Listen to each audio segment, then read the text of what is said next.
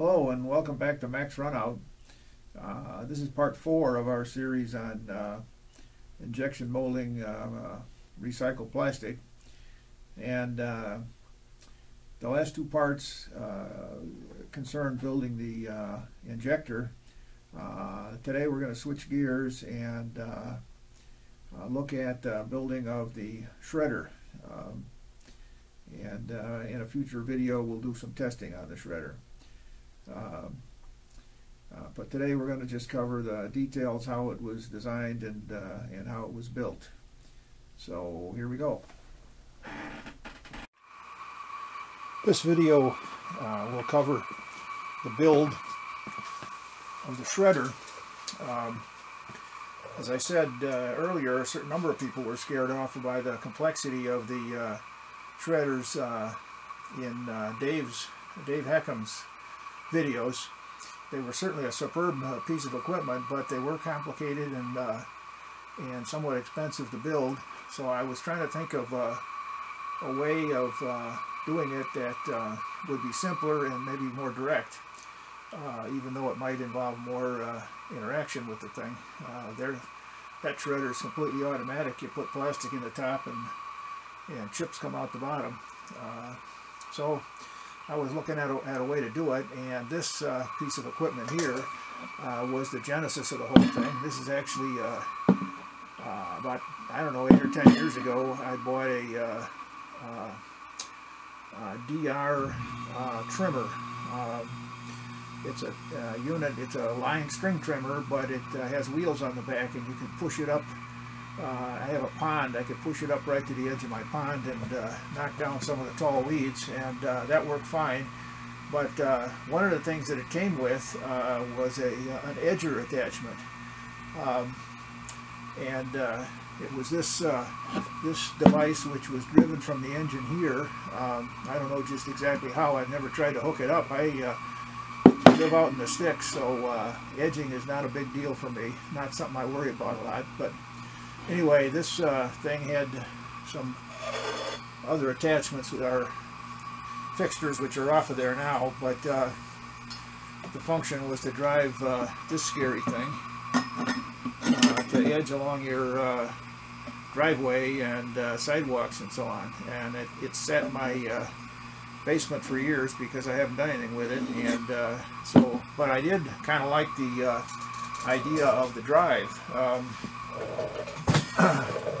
this is a, a, worm drive arrangement. Uh, it uh, power comes in here from the engine and it has a 30 to 1 reduction ratio. So this shaft turns really slow compared to the uh, input shaft and it struck me that uh, I might be able to make some kind of a, uh, if I came up with a toothed wheel or something for here, I might be able to uh, to drive that from the from an electric motor or some other power source and because of that tremendous uh, ratio, I'd be able to, to, to chip uh, not only uh, thin stuff like uh, uh, bleach bottles and so on, but also uh, thicker stuff. I have some surplus scraps of ABS plastic that I wanted to try it on too.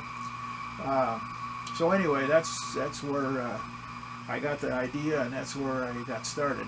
Um, so the first thing I thought of is, is how, uh, uh, I guess I was, I intended to mount this like this somehow, and how would I uh, make a chipper or a wheel to uh, cut things up with that. Uh, the original um, design had uh, quarter inch diameter pins that went through these two sides. Could, you could switch the wheel from one side to the other and they drove the wheel and I figured uh, if it could drive that wheel through rocks and stones and uh, hitting concrete and so on, it would probably be strong enough to, to chip plastic. Um, uh, one of the things uh, about it, however, is that this is apparently was a sellout when I got it. It was just included with the uh, the string trimmers, and uh, and uh, it's not available anymore. And so you say, well, gee, that doesn't help you. that's true, but I've been I took a look in the uh, uh, on on, uh, on, the web and uh, for uh, uh, edger attachments or better yet tiller attachments. And there's all kinds of them uh, available for uh, uh, for these um, well the more conventional string trimmers that have uh, they come now with replaceable heads. You know you can get one head for uh, string trimming and other heads for other things, and one of them is a tiller. And my guess is it would have uh, uh, some kind of a worm drive like this on it too, because you certainly don't want a tiller turning around as fast as you would have a string trimmer turning. So uh, I, I, would, they're available new from all kinds of vendors, including Walmart and Home Depot and others. and the prices, some of them are I don't know, between 50 and $100. Uh, and uh, I would tend to think you could find something like that. Or the other alternative is to uh, visit a boneyard and see if you can find a uh, broken down garden tiller. Uh, those uh, are a little heavier than the ones that it looks like I see advertised now, but they had a drive like this on the bottom to turn the, the tiller heads, and they were all different sizes and so on. And I don't know, there's a uh, garden uh, tool surplus place not too far from where I live, and uh, I'm sure they would have one. I haven't been there, but uh, I'm sure you could find one something like that there. They've got all kinds of broken down uh, garden and uh, equipment. Today I'm testing this camera with an external mic. Um, I noticed that the internal mic was quite noisy and uh, hopefully this will be better. Okay, so the next thing I needed to do uh, was come up with a cutter wheel and uh, I had a scrap of uh, quarter inch thick uh, hot rolled steel in my scrap pile and I decided to give that a try. I know that this is uh, not a hard material and so it probably isn't going to last uh, uh, all that long but or we'll see I guess I've used it for a while and it's still pretty sharp, but um, uh, at any rate, the uh, eventually I would make a something out of uh, a hardened piece of steel. But this is what I had, and I thought uh, I wanted to see if uh, the system worked at all. So I started with that. I wanted to fit that on this quarter or three-quarter inch shaft that the it does fit on there. Honest, it does. Um, anyway, the, the, shaft that this uh, comes out of the uh, uh, reducer or worm drive. And uh, so I cut a circle, uh, cut a circular piece out for about four inches in diameter uh, with a bandsaw, and then I I made a mandrel for it. Well, I, I drilled the or bored the three-quarter inch hole in the center, drilled it and reamed it actually, and I made a mandrel for it. Uh, this was just, a, again, a, a, scrap of 7 8 aluminum uh, rod stock that I had. And uh, so I uh, made a mandrel. Uh, I put a shoulder on the, the rod that just, uh, it's three quarters of an inch. It fits in the, in the bore. And then I made the shoulder a little bit shorter, a little bit less than a quarter of an inch, so that uh, I could grip it this way. Boy, easy for you to say. Hmm. So uh, this is held on with a 3 8 bolt, tapped in the end and held on with a 3 8 bolt.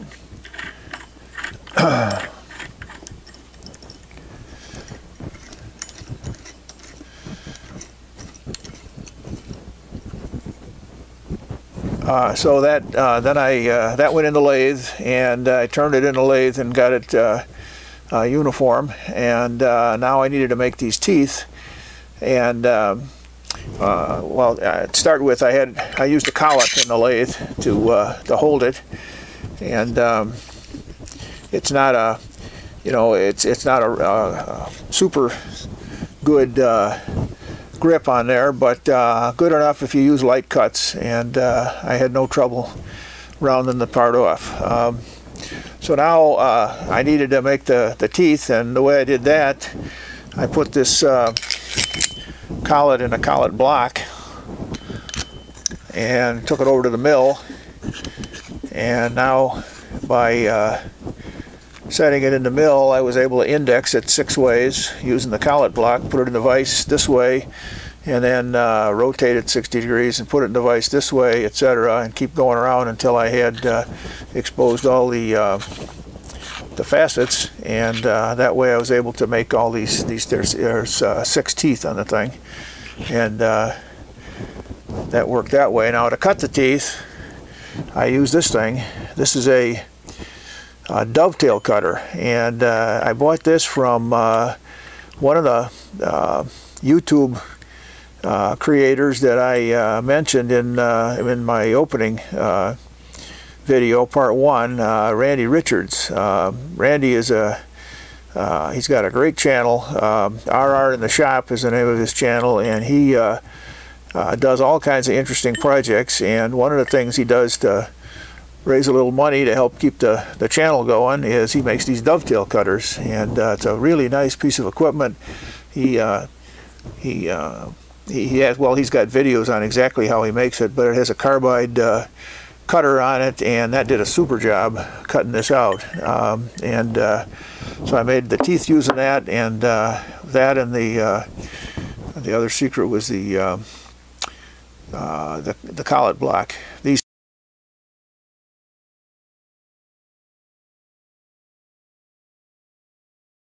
things are available from any machine tool supplier and they're not very expensive.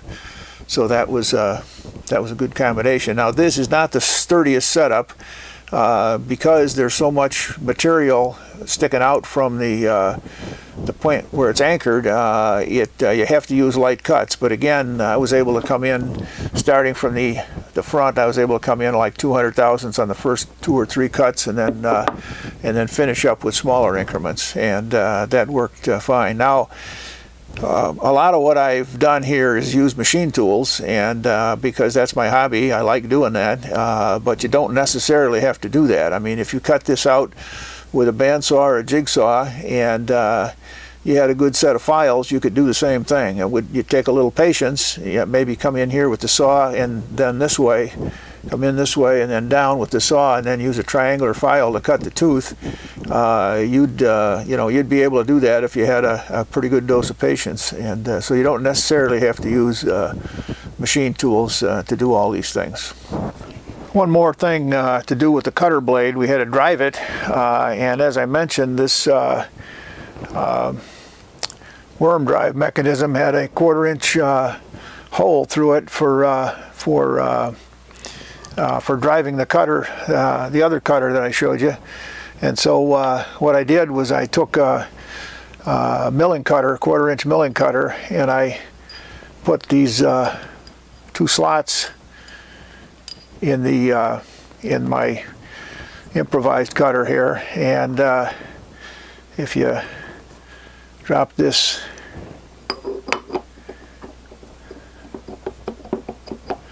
through the the hole there, you can see it, uh, the pin, I rounded the pin on the end and it uh, fits in there just perfect and uh, gives you the drive. So now the next thing is uh, uh, how to mount uh, the, how to mount this unit so that we Two more scraps now come into play. I decided to use this, this is a piece of 2 by 10 lumber again that was laying around. And I decided to use this as a base uh, to mount the whole assembly. And uh, this is uh, another scrap. This was uh, left over from a off-road project that I had uh, worked on. It's a piece of diamond plate. And um, uh, I, I decided to use that mount that back here to support the, uh, the worm drive mechanism which mounts on just like this. So those two fit together and the cutter wheel of course will be right here where I'm pointing with my my finger. Um, so I'll assemble these and then we'll get back. Next uh, I had to come up with some kind of a surface for the cutter to work against and um, I, I, again uh, looked through my scrap box and I came up with a couple of uh, pieces of uh, one inch uh, cold rolled steel, one inch flat cold rolled steel. These are actually cut out of a larger piece. It was cut in this direction on a bandsaw. So we already had three sides here that were uh, from the original stock, so they were reasonably square and, uh, and parallel. And uh, so I needed to cut uh, uh, a hole in here to to fit the the three-quarter inch shaft and make effectively like a table for this to cut against. So um, I made a couple other pieces that I could bolt to this. Uh, and uh, here's a second one for the other side and I did the same thing here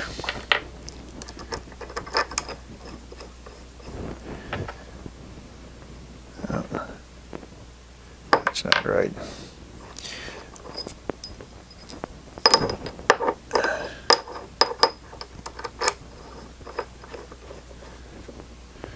that's better So these would go on like this. And so to make these uh, holes in here, I uh, cinched these all down, put them in the mill, uh, in the vise in the mill, and came down and bored uh, these holes through all four pieces at the same time. And then uh, I actually used a drill slightly smaller than three quarters of an inch and then came in with a three quarter inch uh, reamer uh, to get a nice straight square hole. So these then fasten together with a couple of bolts like this. I uh, put a couple holes in for uh, through the side for bolts. Those were all done at also done at the same time. I did the other ones. And uh, now I had a table that I could, uh, this cutter could work against. So one more thing I needed uh, was a spacer to go in here so that um, this cutter had room. And so another piece of quarter inch stock uh, I used to make a, a spacer. And then also I uh, made a shim. This is a piece of uh, flashing roof flashing material and it's cut uh, uh, it's about 9 thousandths thick and it's cut to match the, the spacer and that way when this is all bolted together I got just enough room for the the cutter wheel to operate uh, between the two sides and uh, I'll assemble that a minute and then we'll be back.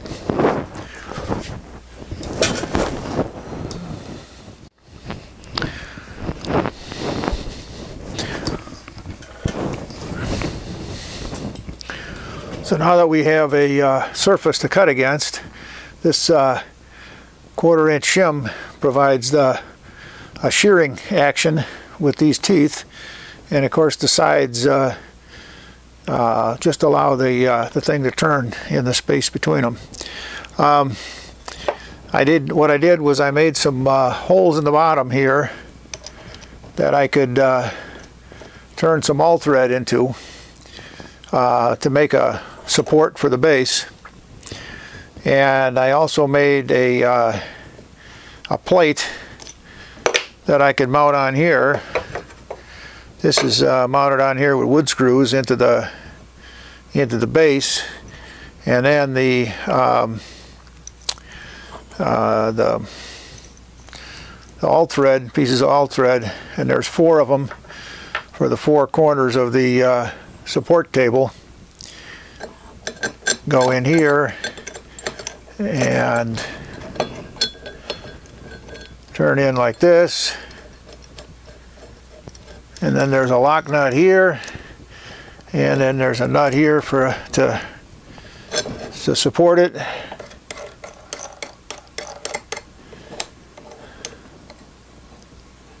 And this is this is held down with uh, into here with five wood screws.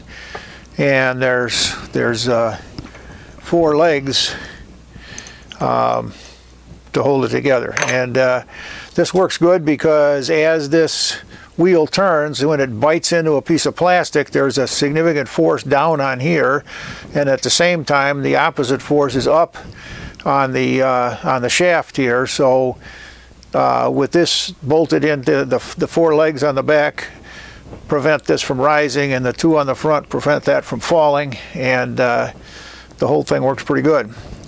Um, so we're gonna uh, we're not going to finish putting this together right now because uh, uh, we still have to work out the uh, the drive assembly on the back and I'll have to take this apart to do that so rather than put everything together and take it apart again we'll show you uh, how we uh, do the drive assembly next. We're testing yet another microphone arrangement so we'll see if this sounds any better. Um, the next uh, problem is how to power this thing and uh, uh, the uh, I wanted to uh, make an arrangement where I could have a pulley out here and uh, drive it with a small fractional horsepower motor and the problem is this um, has a kind of a unique um, shaft coupling system you can see it better in this photo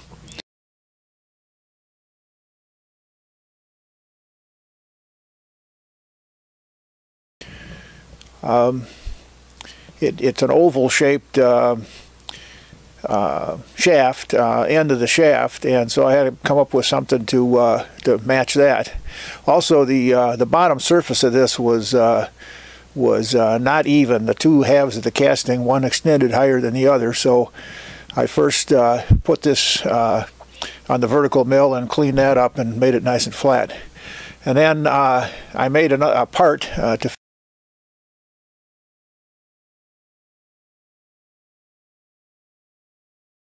fit that. This is uh, uh, started out as a piece of 7 8 uh, uh, round stock and 12L14 uh, and I turned it down to um, a half inch diameter here and uh, yeah, bored this this uh, slot in there we're using the mill. I went in first with a drill and then went back and forth with the mill to uh, uh, give it that shape. Uh, again, you can see better in the photographs.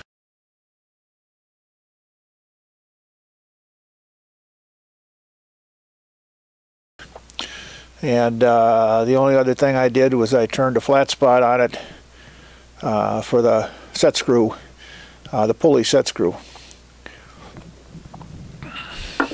Now I had to come up with a way uh, to uh, mount this. Well, this would be mount. This is going to be mounted to the diamond plate, and this will fit on here. Boy, nothing. Yeah, there you go. Yeah, that fits in there and serves as a shaft coupling. But I needed something to allow this uh, to be supported and uh, not uh, put a torque on this device. So I uh, made up another part. this is a this started life as a, uh, a piece of uh, uh, aluminum uh, round bar, uh, this part here, and uh, I had some pieces of bearing bronze that were given to me by a machinist friend of mine. So I drilled out the center of the round bar to the right diameter so that I could, and then turn these pieces of bearing bronze uh, to make bearings for the ends. They're about uh, three quarters of an inch long and uh, have a lip on them uh, on the top. And I pressed made a made this a press fit, so they pressed into the aluminum round stock, one on each end, and that formed uh, a pair of bearings that would uh, allow this to have a would have a pulley on this side and allow that to turn smoothly, and then engage this uh, part here and uh, be able to turn the whole works. You can see the the shaft coming around there as I as I turn this. Um, so now uh, the final step was to make this square piece, which is just a piece of aluminum uh, flat stock, and I bored a hole in there. Again, I put a shoulder on this uh, uh, aluminum bar stock and uh, I originally intended this to be a press fit into here but I uh, ended up uh, shaving just a little too much off and it was a nice tight fit but not a press fit. So I used Loctite, red Loctite to uh, seal that in there and that's held up really well. So that's the assemble that's the bearing assembly and uh, I'll uh, assemble this to the to the diamond plate here and uh, we'll come back.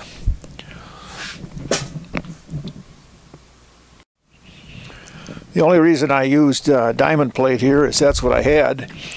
Um, and so uh, in order to get this to fit uh, snugly against there, I had to go in with the mill and mill the diamonds off of this area and a couple other areas here for uh, for screws to, to hold the uh, the other part on uh, the worm drive on.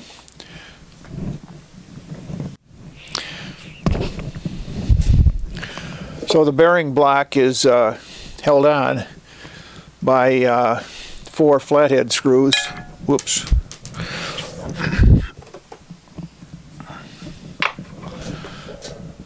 That go in here. They pass through the bearing block and uh, tie everything together.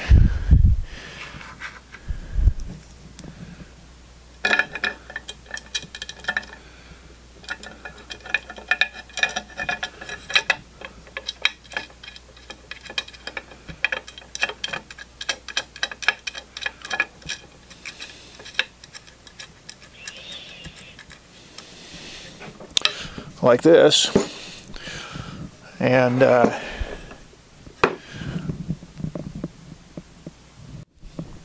uh, once that is mounted then uh,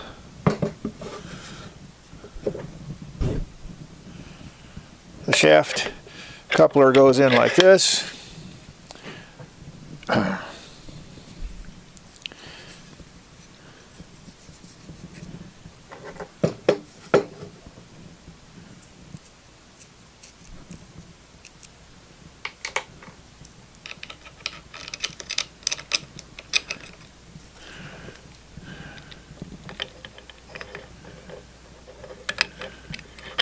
the coupler gets uh, held in place by the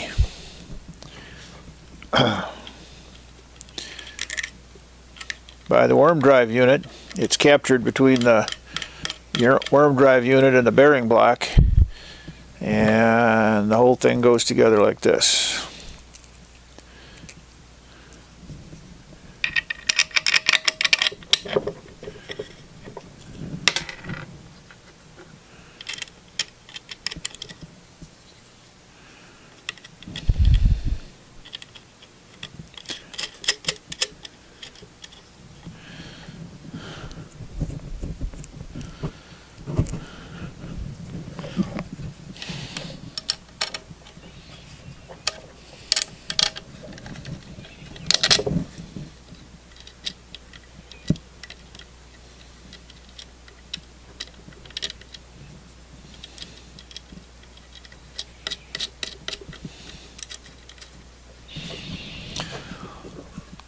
So that's the uh, complete assembly of the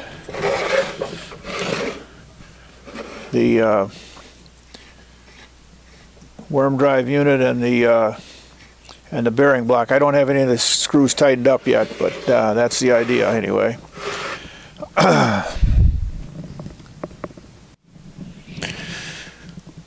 We're getting close here. Um, to power this guy,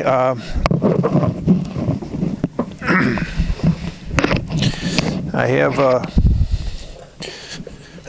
one sixth horsepower motor that was also something that was laying around. And uh,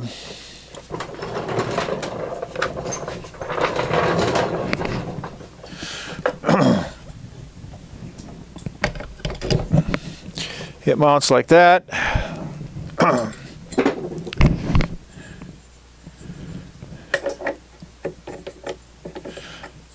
pulley for the, uh, gotta hit the flat spot here.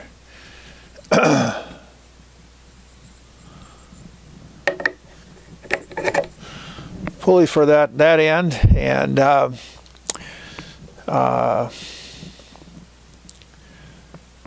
oh, I put that's backwards, but that's right. Uh, and then a cord with an on-off switch to mount here, and uh, uh, then we uh, we will uh, then we got it. Um, the we'll put the whole thing back together with the table and everything, and uh, in the next video uh, we'll be doing some some tests on it to see how how it works on different kinds of plastic. till then, thanks for watching, and we'll be back to you soon.